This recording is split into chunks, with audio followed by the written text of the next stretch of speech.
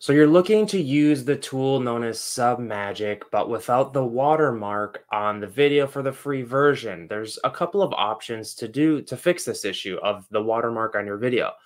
First of all, is to go on over to Submagic using the link in the description or in the comments. It's my affiliate link.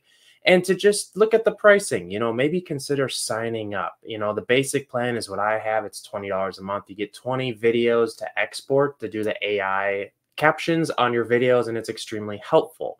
Um, it's guys, this tool, like if you're looking to just get around the watermark by like just stealing it, that's that's completely wrong. I would not do that whatsoever. But just to just to show you how simple this is to use, like I highly advise you just literally sign up. It's worth the $20. Once I have created a video and uh, used its caption tool essentially, um, what it does is it pre it sets up your videos with captions. That's what I'm trying to say here. And you can come in here and edit it. Look at this is what it's done once I have uploaded the video. It uses AI technology to do the captions in your videos. It's so simple. Like there's not even a comparison to what what else is out there as far as like ease and if you're trying to edit captions on your computer like the alex hormozi style like this is what what it is literally and if you go into this tab the style tab you can change the positioning of it. Uh, like this tool is just, you know, it's so easy.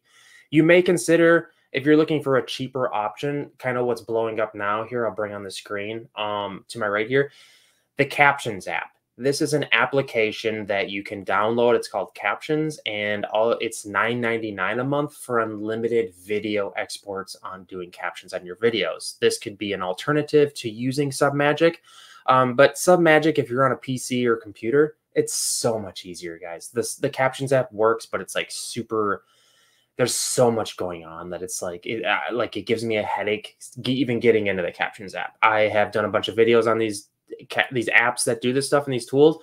Um, it's blowing up because it does work good, but it's just so uh, what's the word intrusive and just there's too much going on.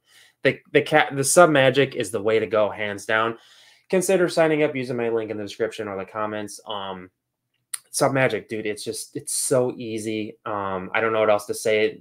The captions app does work, but if you want my personal opinion, Submagic is way better. Um, and if you pay for it, the watermark is removed. That's how you that's how you remove the watermark.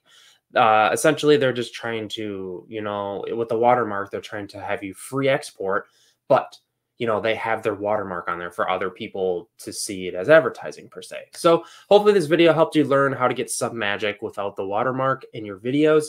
Please consider subscribing. I am a video editing just content creator nut job i got like 10 youtube channels.